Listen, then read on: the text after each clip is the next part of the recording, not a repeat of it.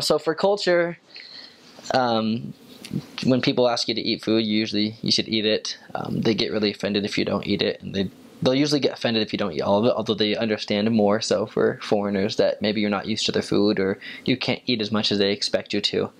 Um, but typically, and I, I, made a promise: whatever someone puts in front of me, I'm going to eat it. Um, and then if I have something that I know makes me sick, I'll let them know, hey, I can't eat this because it makes me sick. But typically, you always eat whatever they give you. Oftentimes when you go visit a family for the first time or even a family that you know they'll go and buy you soda and crackers and even though you know they probably can't afford it and it's not in their budget um, you can't refuse it because it's just disrespectful. So if anyone offers you soda or drinks or crackers or biscuits or whatever they offer you you usually try to drink all of it and eat all of it just to show them the respect because they've made the sacrifice and they've spent money that they really can't afford to spend on you. Um, it would make, it would be hard if you're you know sometimes people would guess when we're fasting. Um, and so you have to tell them. You don't want to tell them you're fasting, like, ah, oh, no, thank you. You know, you try to catch them. You you can kind of see when they're gonna leave and go soda. They'll or go get soda. They'll hand money to their daughter and send them to the shop or something. And so you'll catch them like, oh, are you going to get soda? You know, we're we, we can't drink it right now. And so if we could try to catch them before they bought it, they'd be grateful and they'd understand that we're fasting. Um,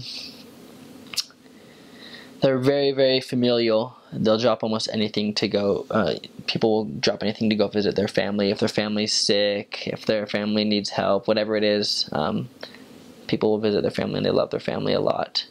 Um, one of the biggest things or challenges that people send their kids away to boarding schools because it's the way for them to get the best possible education.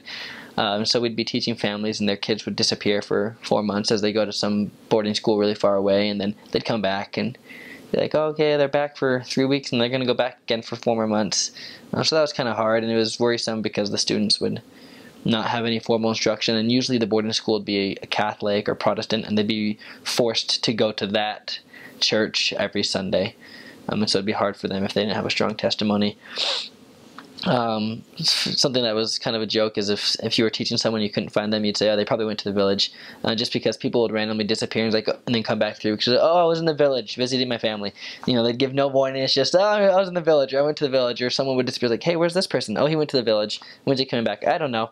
You know, just kind of people just go to the village, and the village was usually their home village where they were born and raised, and people have you know because it if you live in the cities and you can't afford rent, then you go back to the village because you own the land there and you can live off the land there. You have what they call a garden, which is it's not more it's more of like fields of food, not just a garden. What we think of it's just like oh, I have my tomatoes and my zucchini and I'm growing my own food. They grow actual food that they can live off of in their garden.